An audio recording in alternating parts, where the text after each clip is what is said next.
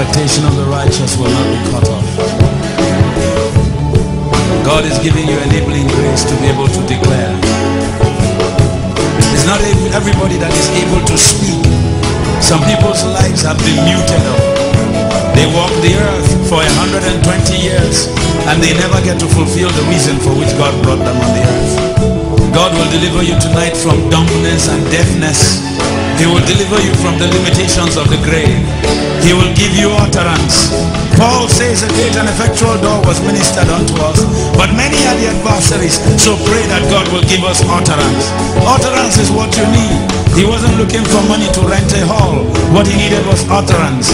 Every speech, every step you take, every thought you make, every every meditation of your heart ought to factor in the realm of the spirit. You ought to be able to register your presence there.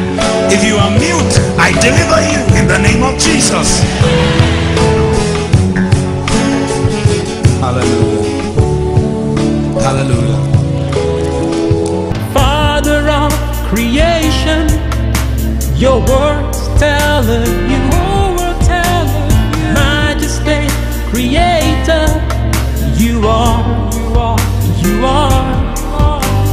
Father of creation, your words tell of you.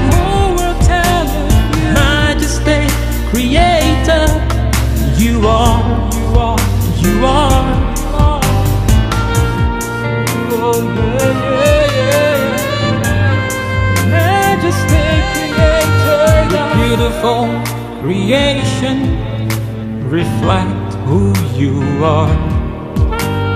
No created thing greater than you, greater than you. Your beautiful creation reflect who you are. No created thing greater than you, greater than you. Father of creation, your words tell of you.